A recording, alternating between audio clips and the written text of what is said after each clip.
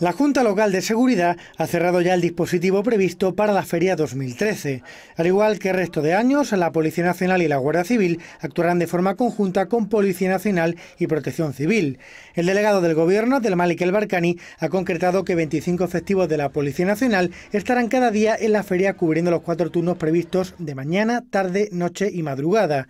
Sin embargo, el delegado del Gobierno apunta que a partir de la tarde del día 7 y con motivo del inicio de la operación feriante, se reforzará el dispositivo con un helicóptero y la unidad canina. Vamos a disponer también de la presencia del helicóptero del Cuerpo Nacional de Policía que fundamentalmente eh, hará labores de seguridad ciudadana, pero fundamentalmente para eh, llevar a cabo la operación feriante, la, fase final de la operación. También se dispondrá, se dispone también este año de una unidad canina para esa labor, formada por cuatro animales y su correspondiente policía, la Guardia Civil se encargará de la zona del puerto deportivo con la intervención de entre 8 y 10 agentes todos los días, un número que se incrementará también hasta los 45 efectivos para la operación feriante.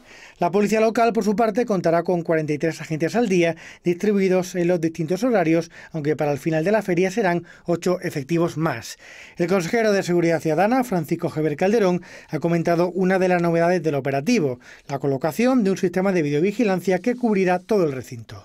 Vamos a contar entre 14 y 16 cámaras en todo el recinto ferial, en todos los pasillos de, la feria, en la caseta municipal, en la caseta infantil, eh, eh, como ayuda. Estas cámaras, por supuesto, solo van a estar vigiladas por policía local eh, y entonces vamos a tener el control de cualquier tipo de incidencia que pudiera surgir a tiempo real.